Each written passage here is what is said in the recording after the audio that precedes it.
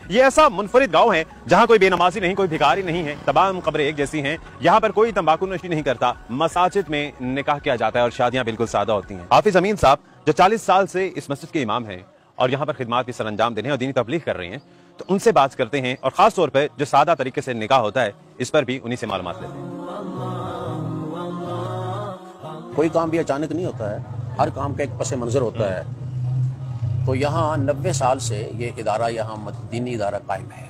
और उस दीनी इदारे में बड़े बड़े जलील कदर किस्म के इस कराम अपने अपने वक़्त के जो असातीन फ़न थे ना वो यहाँ पढ़ाते रहे। तो चूँकि इस किस्म के बड़े बड़े आहल इलम जहाँ हों वहाँ उनका एहतराम भी ज़्यादा होता है। तो इसलिए लोगों में एक तो दीनी शूर पैदा हो गया उन उलमा के यहाँ दरस देने जुमे पढ़ाने और इस किस्म के कामों से। दूसरा कि लोगों में उलमा के एहतराम का जज्बा पैदा हो गया। तो अब अब जब हम लोगों को कोई दीन की बात समझाते हैं तो वो उस पर अमल करने की पूरी कोशिश करते हैं। यहाँ पूरा गाँव एक मसलक से ताल्लुक़ रखता है। मसलन पूरा गाँव हर जिम्मेदार फर्द वो जाट होगा और अहल हदीस होगा। अच्छा। ये भी एक सबब है मामलात में इख्तलाफ ना होने का या मुजामत ना होने का। तो इसलिए अब हम जिस अच्छे काम की तरफ़ इनकी तवज्जो दिलाते हैं अल्हम्दुलिल्लाह ये लोग खुशी के साथ उस पर अमल करते हैं। ये जो आप तब्दीलियाँ आपने सुनी हैं या देखी हैं तो इनका असल वजह यही है उन तब्दीलियों की कि यहाँ उलमा का एहतराम है उनकी बात सुनी जाती है उस पर अमल किया जाता है। सही। कभी ऐसे नहीं मसला आप देखेंगे हमारी सड़कों में कभी कोई मौसीकी नहीं चलती होगी किसी दुकान पे नहीं ऐसा शादियों पे भी ऐसा कुछ शादियों पे भी नहीं और दुकानों पे भी नहीं। खा मोबाइल की दुकान हो वहाँ भी ऐसे नहीं होगा। और खासतौर पे जो बाकी सोशल चेंजिंग्स आई हैं जैसे यहाँ से सिगरेट नहीं मिलता। लोग सादगी से मसाजिद में निकाह करते हैं। कब्रिस्तान का तस्करा हुआ और शादी ब्याह पे भी कोई ऐसी तकारीब नहीं होती। ये लोग खुश दिली से कबूल करते हैं एक माहौल ऐसा हो गया या फिर उसके लिए बाज़ अवत ऐसा होता है कि कोई सोशल प्रेशर भी उन पर होता है? हाँ ऐसे कोई पाबंदी तो नहीं है कि किसी को जुर्माना होता हो या कोई ऐसी बात ये नहीं है।